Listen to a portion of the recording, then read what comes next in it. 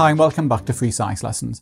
By the end of this video, you should be able to describe what's meant by anatomical, behavioural and physiological adaptations.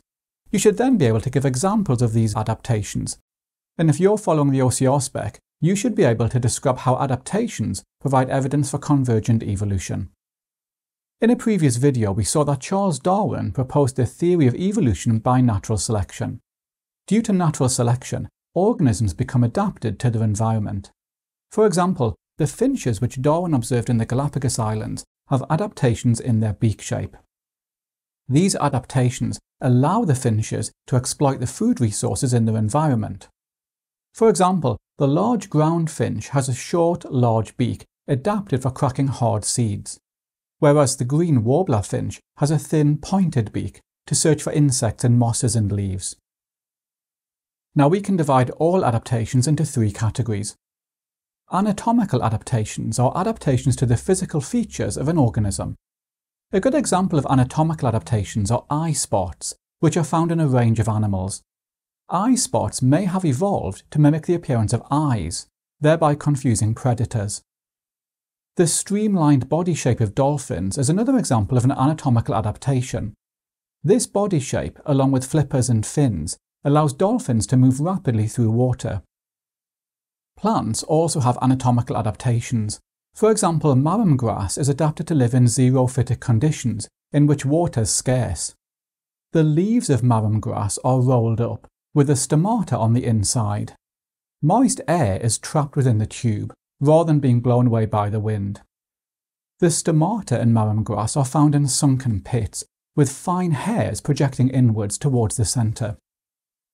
These anatomical adaptations ensure that moist air is trapped around the stomata, and this reduces the rate of diffusion of water vapour out of the stomata. Now, behavioural adaptations are adaptations in how an organism acts or behaves. Some behavioural adaptations are innate, in other words, they're passed on through genes. Web building in spiders is an example of an innate behavioural adaptation. Other behavioural adaptations may be learned, for example, some species of primates learn to use sticks to probe for insects. And many behavioural adaptations are a combination of innate and learned. Okay, the third category of adaptations are called physiological adaptations. Physiological adaptations are adaptations to the way an organism's biological processes function. A good example are antifreeze proteins. Antifreeze proteins are produced by certain fish that live in cold water, for example the seas around the Arctic. Without antifreeze proteins, ice crystals can develop in the fish's tissues, and this can be fatal. Antifreeze proteins prevent the growth of ice crystals and protect the fish from damage. We can also find antifreeze proteins in certain plants and insects. Now, fish, plants and insects do not share any recent common ancestor, so this means that antifreeze proteins must have evolved independently in these groups of organisms.